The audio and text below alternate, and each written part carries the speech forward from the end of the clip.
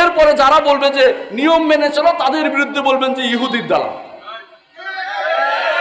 কিসের ইহুদির দালাল? কোথায় চলে বলেন আপনি আপনি যে বলছেন ইহুদির দালাল, যদি ইহুদির দালাল না হয়, আপনার বউ তিন তালাক এটা বলেন, আপনি রাজি হয়ে যান, আমি বলতে রাজি আছি। এটা তো কোনোদিন বলতে পারবেন না। বলেন যে আপনার সন্তান সব মারা যাক, যদি ইহুদি দালাল না হয়, আপনি ভালো করে জানেন। কেরা কেউ ইহুদি দালাল না, শুধুমাত্র মানুষদেরকে বিভ্রান্ত করার জন্য শব্দ ব্যবহার করছেন। আপনি কেন ব্যবহার করছেন? আমি বুঝি, কারণ আপনি জানেন যে আপনি দাহক। আপনি মিথ্যার উপর টিকে আছেন। আপনার আকিদা শুদ্ধ নেই, আপনার ইমান শুদ্ধ নেই, আপনার মানহাজ শুদ্ধ নেই, আপনি হানাহানি মারামারিতে বিশ্বাসী, আপনি দুনিয়ার যা আগুন লাগাতে চান, আপনি হানাহানি করতে চান, আপনি শান্তির সাথে দাওয়াতের কাজ করতে চান না। বর্তমানে সবচেয়ে বড় পথ সুন্দর পদ্ধতি হচ্ছে দাওয়াতের পদ্ধতি। একটা সময় ছিল কথা বলার সুযোগ ছিল না। এখন আপনি ফেসবুকের মধ্যে দাওয়াত দিতে পারেন, ইউটিউবে দাওয়াত দিতে পারেন, কথা বলে দাওয়াত দিতে পারেন, এই সুযোগ কোনো কোনো দেশে আপনি পাবেন না।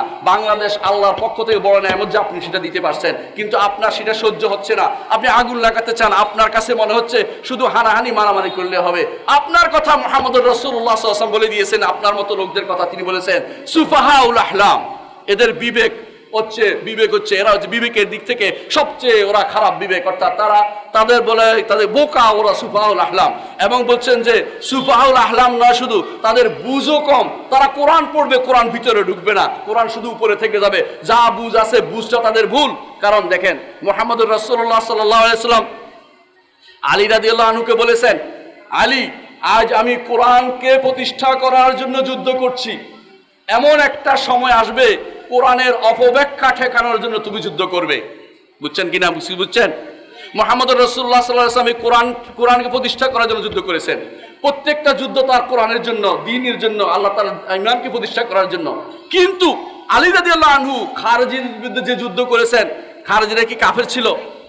তো কি ছিল? কি কারণে যুদ্ধ করলেন তিনি? কেন যুদ্ধ করেছেন? কারণ কোরআনের অপব্যাখ্যা করছে তারা।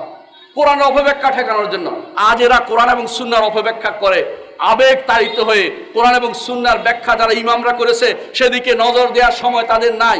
আপনি যতবারই বলেন যে এইটাতে এই জাতীয় শর্ত আছে, তারা বলবে, তুমি শর্ত দিচ্ছি, ইহুদির দালাল হয়ে, নাউজুবিল্লাহ। ইহুদির দালাল কেন কোরআন এবং সুন্নাহ আছে কিনা দেখেন? কোন কিতাবে আছে কিনা? হাজার বার বলে ইমাম শাফি বলেছেন এটা। ইমাম মালিক বলেছেন, আহমদ ইবনে হাম্বল বলেছেন, আবু হানিফা বলেছেন, আপনার পছন্দ হয় না। কেন পছন্দ হবে না? আপনার মনের ভিতরে আছে, আগে থেকেই আকিদাগত বিভ্রান্তি আছে। আপনার, আপনি যেহেতু বিশুদ্ধ আকিদার লোকদের পছন্দ করেন না, তাদের যে কোনো দোষকে, তিলকে তাল করতে আপনি খুব পছন্দ করেন। তাদের দোষ নয়, সেটাকে দোষ বানাতে আপনি খুব পছন্দ করেন।